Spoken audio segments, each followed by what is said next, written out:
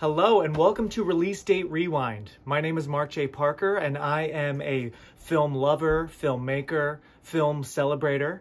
And normally this is an audio podcast wherever you get your podcasts on your favorite apps. But thanks to Portland Media Center, you are about to watch the video component of this show where I celebrate movie anniversaries with my friends. Each month, I usually talk about two different movies that I love with different friends, and we talk about the making of the movies, trivia, any fun memories associated with them. So I hope you enjoy because now it's time to rewind.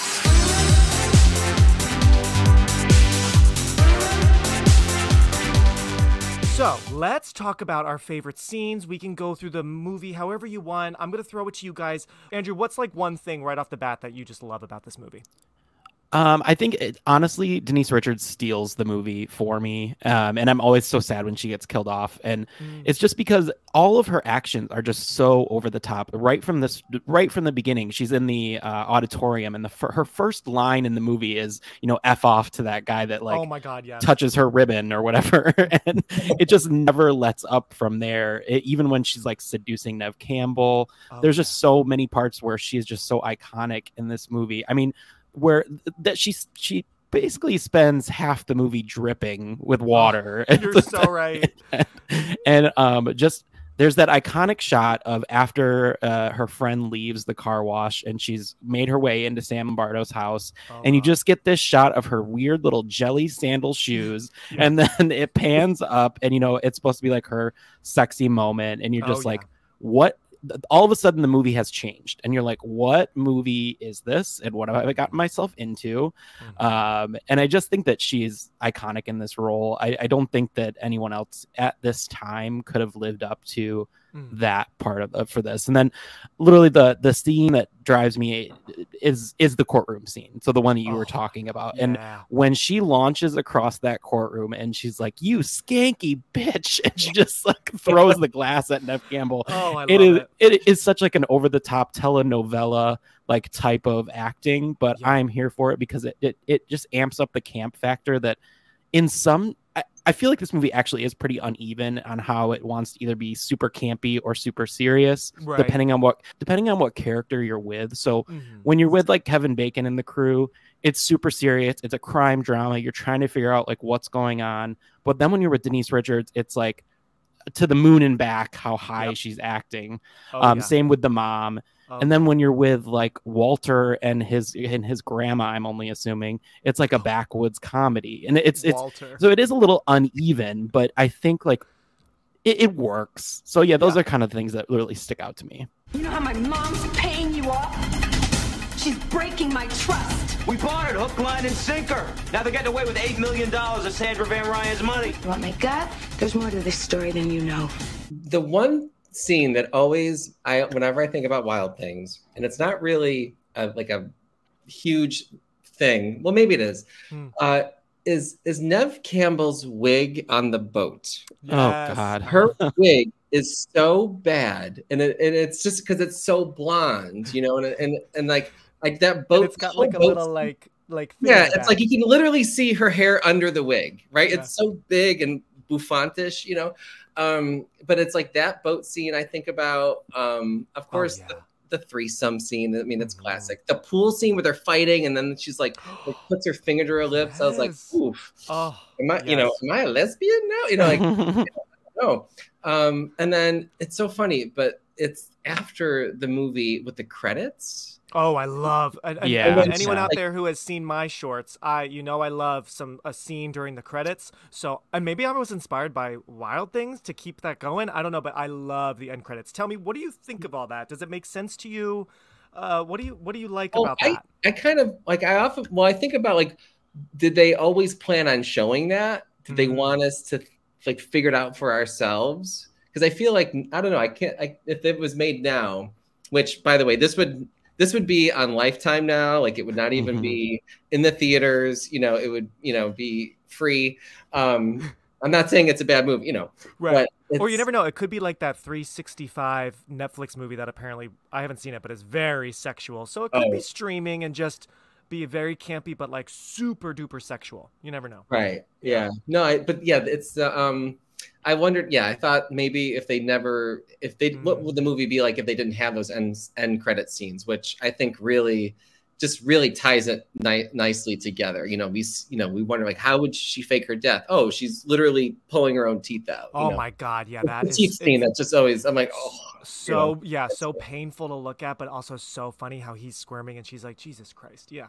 yeah. Um, what I love about the that the post or I guess the during credits um, scenes is yeah, it fills in the blanks. Like I and it also shows us because at the end, and we're spoiling everything, and that's how it goes. But at the end, you know, Susie is the one left standing out of this crazy web of of lies. And so what I love about those scenes is right off the bat, it shows us like how she kind of she seemed to mastermind the whole thing. I assume those credit scenes are kind of in order. She goes to Sam with pictures of him and his student uh, Kelly, right? So that gets the ball rolling, and then I think next is um, uh, Susie and Sam spying on Ray Duquette, Kevin Bacon, and like how he's a dirty cop, mm-hmm. um, and how she's getting Sam to like go be his friend, and like he's gonna want to kill me. Like this was Susie's plan, I, I think. Is that what you guys got from that? That like Susie kind of was a mastermind. Yeah, for sure. I mean, right? she's kind of the one that goes to him with the plan in yeah. the first place. I think that they probably plan most of it together, but I think like and there is like a so this is what I was reading about the unrated version is there is a deleted scene where it explains that um, Susie is actually the illegitimate half sister of Sandra, right? Is that the mom? Um, Wait, Susie is the illegitimate sis half sister to Sandra? to the mom. Yeah, right. Then she would have been the one to inherit to get all the money. Yeah, yeah. yeah. Not oh, Kelly. Yeah. Interesting. Whoa. Okay, so that okay, I did not know that. So Andrew, you're blowing my mind a little bit.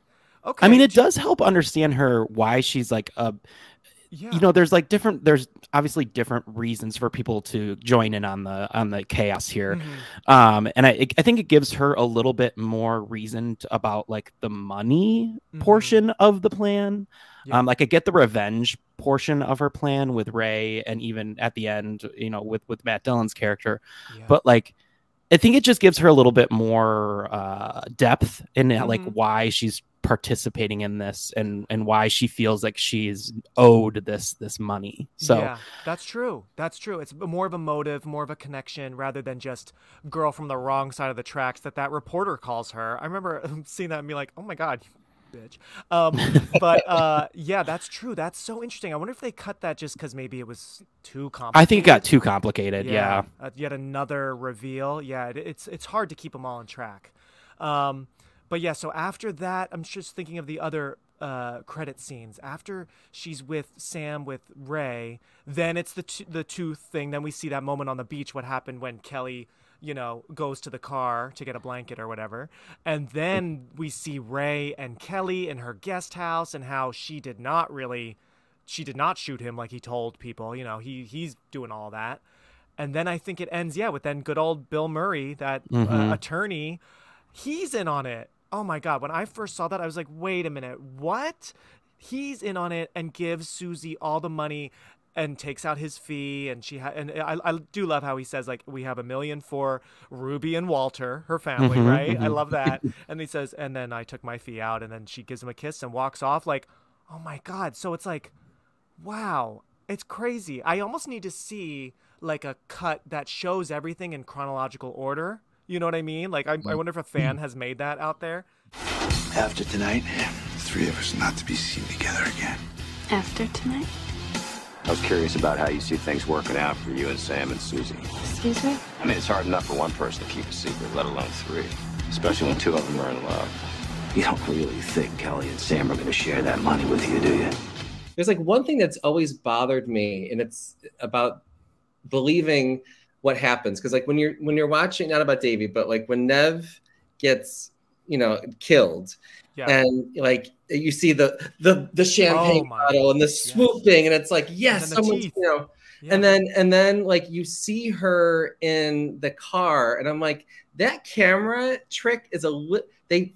If it had been a second, it would have been like, oh, she's what if she's she's she can't be dead like she's not dead but like they they lingered on her face behind the bag a little bit Yes, too long for up. me where it Uh-huh. almost seems like a like a gag you know like a Oh. like you know like a i'm like oh wait a minute like a plot hole kind of thing i'm like wait mm, Interesting. dead like i just thought it was that scene i'm like if they maybe have just not shown it like in psycho where they just he closed they closed the trunk and i'm like okay now i can believe that maybe she's alive because you didn't see her breathing or you know like i don't know i just Yeah, That's that's interesting. The the close up of her is definitely an interesting choice. So yeah, when you Yeah. see that close up, you're you is that when you know you kind of have the feeling that she's not dead, or you feel like she's got to be dead. she's got to be dead there's no breathing Mm, you know, she's not yeah. she's not going to fake not breathing when the trunk is you know for Yeah. us the Yeah. audience right That's true. That's true. Yeah, you know. well, and and I the other even- part in that scene too is where it shows like a spurt of blood, like Oh, like legit, like drenched blood, and I'm like, Yeah. her just pulling out her front teeth is not going to create like this. I know, this- yes. this, like, Right. It's spurt actually of blood. it's quite gross. Yeah, I Yeah. I never really real I knew it was blood, but like not until this latest rewatch, I was like, okay, mm. it, that's a spurt. That's like a geezer. Okay, enough, enough. Also, why did the bottle not break? Wouldn't you have thought the bottle would have? I mean, I don't know. You just see so many movies where the bottle, any bottle, just breaks on someone's head. right It's weird that it never broke. I'm like, that is quite a strong champagne bottle. Well, I will say that it was full. Like he never Yeah. opens it, and he, so I, I I just imagine like a, a full champagne bottle is much more robust than like yeah, a, an empty solid. one. You know, That's true. That's true. And I just love that twist that only about 15 minutes after the epic three-way scene with the three of them, where we realize they're all in on it. It's all this plan. I mean, what a what a brilliant way to reveal that. Insane. But Neve is the one. Susie's the one that pops the champagne bottle and then Mhm. starts drinking it. And then only 15 minutes later, the champagne bottle, a different one, is used to quote unquote kill her. Right? Leave me alone. There is no case. Get out of these people's lives. Sam, I'm really nervous. I need you to be there for me tonight. We gotta stick to the plan. There's no one to trust. You can trust me. she just yelled at Sam and threw stuff at him and forced his Educator of the Year award to break in public, which I'm like, okay, young lady, like I just wanted some teacher to be like, all right, you need to calm down. You need to go to the principal's office. But I guess because she's a Van Ryan, Is it- she gets away with it, right? blue bay blue bay Blue Bay, Blue do Bay not people. tell Kelly. You know what is what does her mom say? My my favorite line of maybe the whole movie, but definitely Wait. from Sandra is, "Say it, Jeff. Do you know?" My daughter does not get raped in blue bay yes, absolutely. Thank you. Yes. I also love when she says, uh, before, right as Kelly's going to tell her mom, which I do, I have to say, I love, you know, that close up shot of her tears in her mouth, like, I was raped. Um, but she tells her mom, you know, or she's saying, like, I miss dad. And, and her mom's like, well, he didn't have to kill himself, Kelly I know. it's so like Theresa Russell is. I honestly, there must have been a second director that was like, "You're just going to handle everything Theresa's doing because she is in a different movie." Right? yeah, yeah. I love it though. I Her and her boy it. toy. Oh my god, yeah. What's his name? Frankie. Yeah, and then Yeah. she has another great line to, on the phone with Sam. And this is when we start to suspect that like she and Sam have a history, right? Which is confirmed later when Susie has her great, you know, monologue of truth in the courtroom that, you know, she wanted to hurt Sam and Kelly wanted to hurt Sam because she found out Sam and mom were having an affair. When she's on the phone with Sam, she goes, I haven't found anyone who can handle my boat the way you can. And she's saying it directly to Frankie, who is just giving her a great time. I mean, Frankie's Frankie looks good, you know? And I'm like, oh my she God, wasn't gosh. having it She, She was wasn't not having, having it. it. Frankie is not Sam Lombardo, who, as the cops say, has slept with half the women in town, right? Which, Yeah. going back to what you were saying, Andrew, about the the removal of the gay scene and how you are okay with not everyone so obsessed with Sam Lombardo. The movie is interesting that it's showing a little bit of, you know, when a guy has a lot of sex, he's just so appealing to everyone. The guys want to be him. The girl, Mhm, some guys want him. The every woman wants him, right? Like I said in the beginning, every student is looking at him. Every mom, right? So there is something like I don't know. I don't think that would be necessarily part of the movie if it was made today, where it's like we're gonna really celebrate the guy that gets a lot of sex. You know, that felt very '90s to me. Well, even just the whole idea of like making up that you were raped. I mean, it's like the Me Too stuff. I mean, Oh, like, yeah. What do you tell me more about that, Jeff? What do you think of that? Because this movie is very interesting watching it now. Yeah. Yeah, no, I, it's it, you know, because I just reminds me of um, uh, Promising Young Woman. You know, just like Mm-hmm. that whole that whole thing. But yeah, I don't think. Yeah. I don't know. This wouldn't be. I don't know if this would be as well received and loved as it is. You know, that was made 20 years ago. I think. Yeah. That's a really good point. You know, because not only the the um accusation of of rape when it's not true, but also I thought it was interesting. I mean, I actually I think maybe I mean I love all the characters, but I have grown to really really really love Daphne Rubin Vega as Perez. She's like Mhm. maybe the smartest person in the whole group, even though I know sometimes she's sort of led astray.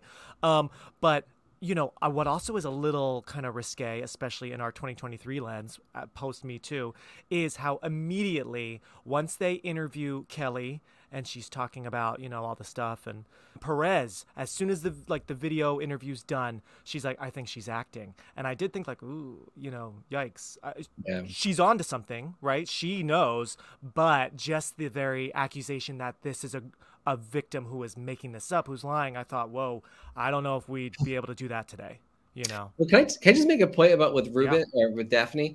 Um, like I remember watching the movie, I'm like, there are so many people that I recognize in this movie, and then like this other person, I'm like, who is this woman?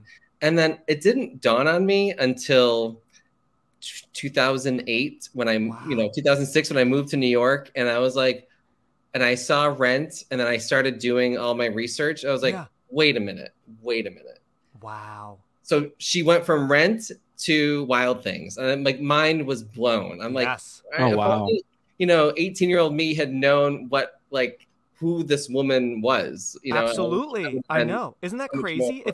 It's it's a Mm. really interesting casting choice. I mean, it makes a lot of sense. It's a very white cast, so she brings in some much needed diversity, especially in, in Florida, right? Mm-hmm. Right. And um yeah, I was reading about her that yeah, she of course was in the very first run of of Rent. She was uh, with the show before Broadway, but I believe it opened on Broadway April 96 and then she she left April 97 and then I'm sure shot this Mhm. probably pretty soon after, Right right? after, So, yeah. yeah. what a fun moment in her career for sure. Mhm. Yeah, I, I Mhm. just wonder what she, what she thought of like all this crazy stuff going on in this movie, right? um, yeah, I really like her, but yeah, I just thought that was kind of a little risque for right off the bat. The cops, at least she was like, I think she's acting, you know? yeah I'd keep a real close eye on my new friends if I were you. There is one line that always stands out to me in this is it when denise richards finally comes in and she you know tackles him on the bed and she goes we did it we screwed the bitch i thought that that was pretty good Absolutely. um there's Uh-huh. an there I, I noticed an interesting edit this time around and it's right after the scene where we think um susie has been killed and they shoot they shoot over to the the gator park or whatever that that place is yeah. and um walter is trying on teeth yes. he's trying on those dentures and that's right after she lost her teeth so i just i just noticed that this time so i, I wrote it down just as something to like yeah, you know, to look that's at. a really good point because I really noticed it this time too. What do you think they were trying to say that like? Because were they trying to say anything or like? Because it's weird. There's a connection there, obviously, yes, to Susie's teeth that just were pulled out. But did we need Walter to be trying on Right, some random right. person's teeth? I don't know if it like makes a ton of sense. What do you yeah, think, Jeff? there's lots of i think if we if you rewatch that with like foreshadowing in mind i think you'll start catching things like i i, I wrote down like um uh like in the in the begin, first beginning scene in the auditorium when they talk about sex crimes right Yeah, mhm. and like you know susie gets up and she's like i forgot what she says but she Oh, curses at kevin bacon and Uh, it's like she say? She calls him a prick. Yeah. Right. Yeah. Not this, but something prick and then walks out. And it's like, well, you know, we didn't know at all. We thought he was always a good guy up until, you know, halfway, three quarters of the way through the movie. So, like, Yeah. that's foreshadowing, right? Like, Mhm, Yes. he- us, her telling us that this guy is no good for no reason. You know, I just think that there's probably a little bit more more Easter eggs like that throughout the movie. if And you know, you bring up a good point because yes, that beginning is so like memorable. Sex, and then they're all like, "Ooh," and then crimes, and like I Mhm. remember that was in the trailer right in the in the beginning. I mean, that that right there is like the movie, right? Right. But do you guys know? And forgive me, maybe it was said and I just am not remembering right now. Why are they even having this assembly about sex crimes? Did something happen or it's just like it's just like a mandatory like all right everybody, you got to know about sex crimes, right? It's kind it's a little like hmm, should that have come later like after Kelly's accusation then they have like this thing without Sam there, you know, talking about sex crimes? It's a little Right.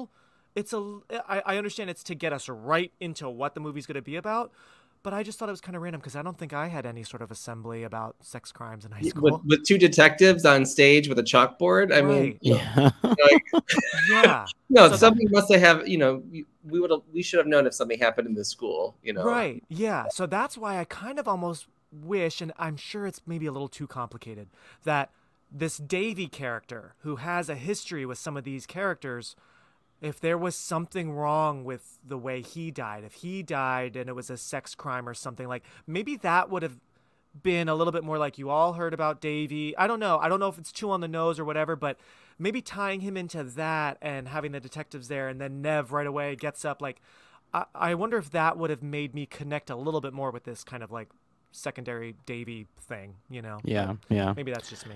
Um, this time around, I did notice that they washed the Jeep with the top off, so they essentially got the entire inside of the Jeep wet as well. I didn't notice that before. Oh my god, great Um, catch. I did not notice that. I love that you caught that. Oh my god. And then um, I, I just have to give a little bit of like a you know the 14 year old me the you know hearing uh, Third Eye Blind again and Smash. Mouth and The all these songs. It's Yes. it's it's incredible. And like, why Um, can't we be friends from Smash Mouth is a little Yeah. on the nose after Susie does her epic like finger to uh, what is um Denise Richards says to her, uh, "Where'd you get your shoes? Horse for less or something?" Yeah. But then, why can't we be friends? Like, it's Yeah. like, okay, get it, got it. You know. Yeah. and Neve Campbell does that great. iconic the way that only she can flip off people because it's like half the knuckles are up. She's done it in Scream too. It's like I it's- can't even do it. Can't do it.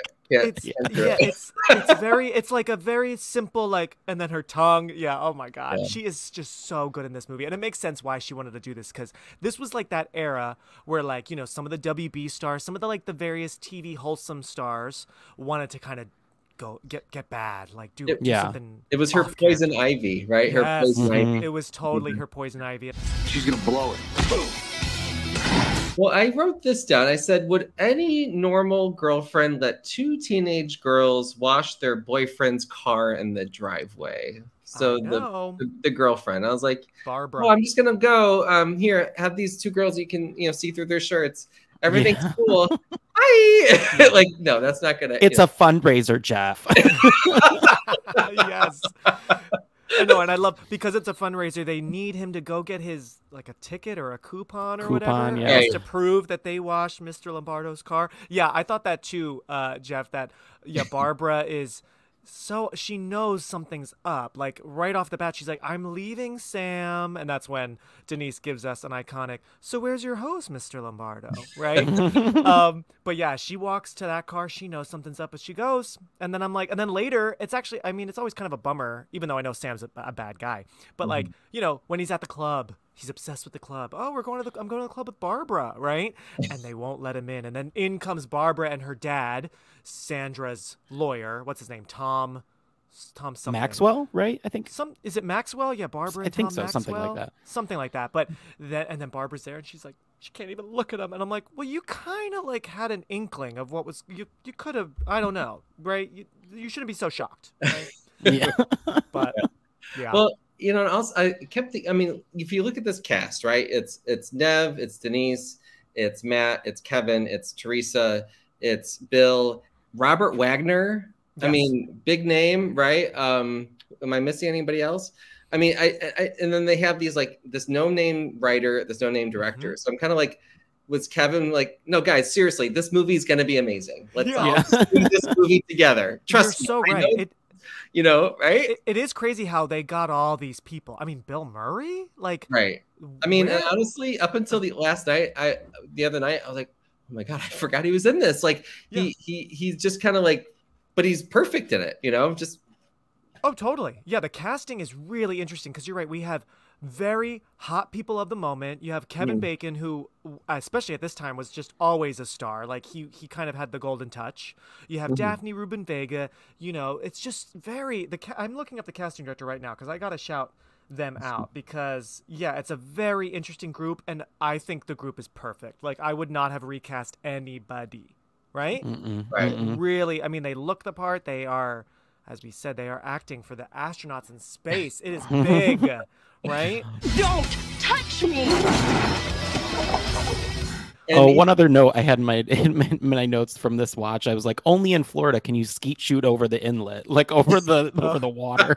Right. No well, again, way. back to the the foreshadowing, right? She's skeet. Was it skeet shooting? Right. Yeah. That's how she dies. Oh, right. yes. Oh, Mhm. yes. Good good Right? So, thinking like, for sure. Yeah. They um they they it was smart, like smart directing, smart writing. Uh-huh. Two's company, three's a crowd. Now, okay, I need to ask you guys. Now, we love this movie. We are men. We are queer men. You know, we love the the the craziness of it. I'm going to just quickly say the casting directors are Linda L- Lowy, Lowy, and John Brace. So good on you two. Great job. Um, now, we're men. We like the smuttiness, the sexiness, and all that. Do you feel and and I hope, and it seems like the actors were all in on it, but especially with Denise, you know, the blue bathing suit, iconic, but I mean, we are really seeing everything through that bathing suit. Do you kind of feel like was the camera, was the director like taking advantage of anyone or do you do you feel like everyone kind of knew what they were doing? I feel like it. I mean, the the the length, the time that it took for her to get out of the pool, and she's just mm-hmm. laying there and letting her hair drip. I mean, I feel like they were like, Denise, do this very slowly. Mm-hmm. You know, we are gonna be on you for like a good five, while. seven minutes. You know, like yeah, we're gonna just just we're gonna do it again. You're gonna nice and slow. I, f- you know, I think. I think they knew. Yeah, I think they all knew what was going on. Yeah. What do you what do you think, Andrew? You agree? Yeah, no, I, I definitely agree, and I think that you know the gaze in this movie does kind of shift um, Mhm. towards the end. Like once Denise is kind of off, like the the gaze kind of really does shift to the men. I mean, then all of a Mhm. sudden we have Matt Dillon shirtless on the beach. We have Mhm. Kevin Bacon in the shower. Yeah. Like it, it I, I think it's equal opportunity smuttiness, and Mhm. it, and I think that that's, That's even you know plussed up by the accidental you know penis shot that that we get yes. um, that even wasn't supposed to be in the movie, but they kept it in. Right. Yeah. Um, and maybe that's why I wanted to ask your thoughts on this because apparently, you know, Kevin Bacon thought it was a different angle and that, and I guess he did have a no nudity clause in his contract, which apparently Neve did too, which makes sense because she wasn't showing anything. But without giving it much thought, he did allow the director to use the shot that he looked thought looked best. So he said, John, use whatever shots you need to do. I don't care. And so that moment of you know, full frontal nudity was included. Why were they getting that shot if there was a no nudity clause? You know what I mean? But I guess it was just the blocking. Like maybe Matt Dillon was supposed to stand an inch to his left, and he, you know, he missed the mark. Mm-hmm. Right? It's it must have just been totally accidental. But yeah, I I. Well, and then he went on to go show it again in Hollow Man. So it's, Oh yes, I love Hollow Man. Yes, you're so right. Can I play too? Or is it just for boys? Thanks so much for watching. Next time, there's going to be a new movie that we'll talk about, so stay tuned. And please follow Release Date Rewind on Instagram for updates. Bye.